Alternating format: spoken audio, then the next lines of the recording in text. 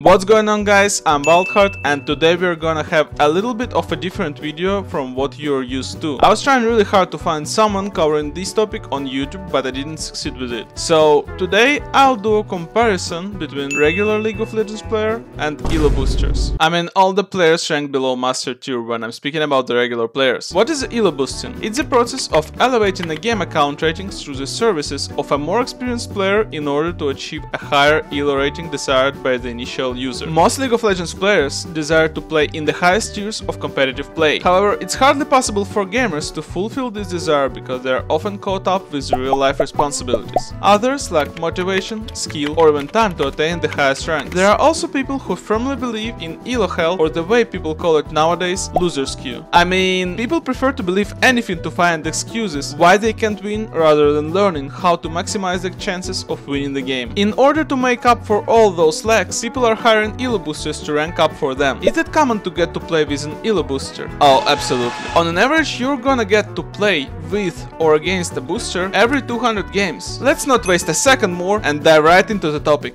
It's not a secret to anyone that most of League players who play the game are playing to win. Some people say, I'm playing for fun, I don't care about winning. But hey, is there any fun playing the game if you're only losing? As a competitive person, I think there is none. As a regular League of Legends player, I motivate myself with positive emotions I'm obtaining when I'm carrying the game, which leads to winning the league points that at the end of the day make me even happier. The downside of it is that I'm getting negative emotions when I'm not doing much in the game and losing it. But at this point, it is what it is, right? League is a gamble at some point, and regardless how good you are, you can't win it all. So yeah, for me, the key points of winning as a representative of a regular players group is the joy of winning itself, league points that I get when I'm winning, and the moments when I create a huge play for my team that can turn the tide of victory to the right side. On the other side, boosters. What is the key motivation of a booster to play and win most of the games? The answer is simple. Money. As a regular league player, you usually have life outside of the game, and at least your job is not going to be a game. Well, it's completely different in the case of a booster. You win means you have money, you lose means you lose money. So at this point we are bringing gambling to a brand new level. Your stomach is always the best motivator to do something, as if you didn't do well in the games as a booster, you're gonna have no money, means no food, and even though it sounds a bit sad, it's probably the strongest motivation to play the game well. By the way, we are currently running a contest in our Discord server the goal of which is to score as many takedowns as you can during one week. So sign up and don't miss the chance to win $20 worth of Riot points on any server. The link will be attached below the video.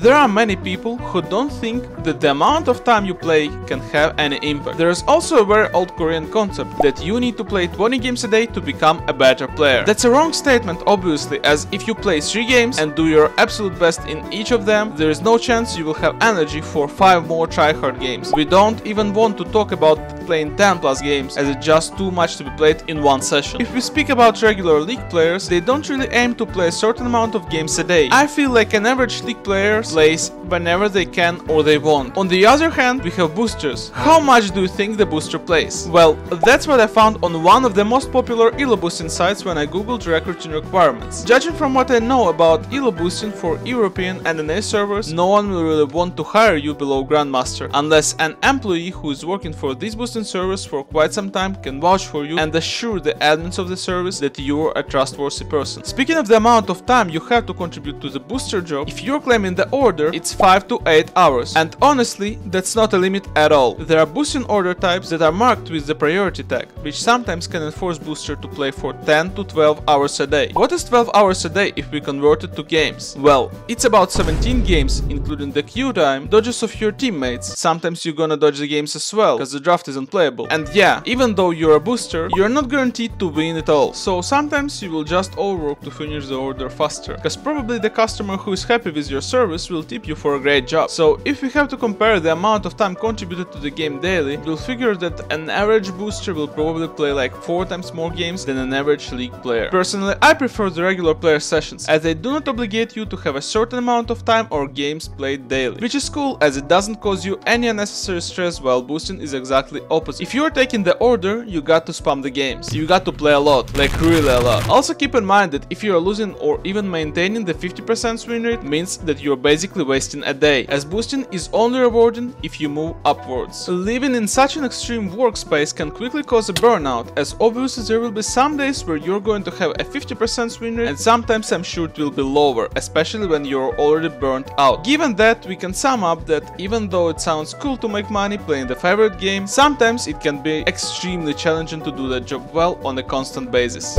I think it would be appropriate to say that regular players gameplay may vary based on their ranks, but the main idea is that the lower ranked player is less likely to follow so-called rules to grind. While regular players don't really have a specific amount of games they play daily, boosters always play in a sprint mode. They got a certain amount of games they have to win in order to complete the order, so they are building a plan on how many games they need to do in order to finish it, and if it's doable in one sit, they will definitely try to do it. Simply saying, they got to do a never-ending sprint daily, because they need to try hard all the games they play, so they win most of them, but there is no milestone where they can stop, as this will reduce their income. Also, regular players are usually coming to a game without a strict plan of what to do while trying not to take too many risks. Once again, boosters are exactly opposite. Boosters are always looking for an opportunity to cheat the enemy. Moreover, they're rarely going for low risk plays. Their style is high risk, high reward, while the reward probably is not even that high. Seriously, those guys are the most risky to play with as they don't follow regular rules how to play the game, while they build their own little world every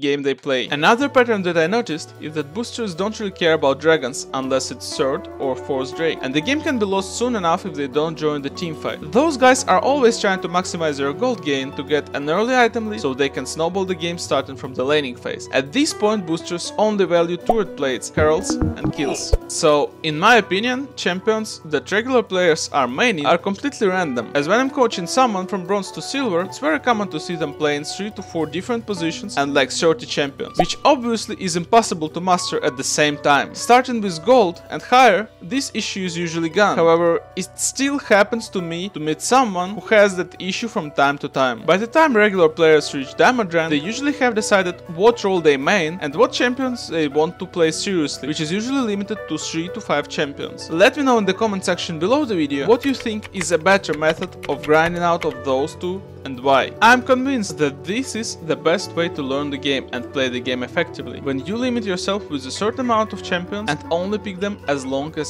some of them are not getting nerfed to the ground, so you need to find a new champion to main. So I went to one of the most popular booster sites and here's what we can find there. Evidently we can see that they are one-tricking champions to the top level of competition, regardless if the champions or the strongest items for them are getting nerfed. Aside of that, it's very important to point out that all three of those champions that boost your one trick are fairly great to 1v9 the game, especially if you get one kill early on and know how to transit it to a bigger lead. That's a wrap for now. Hope you enjoyed the video and will use this subscribe button as intended. Catch you later.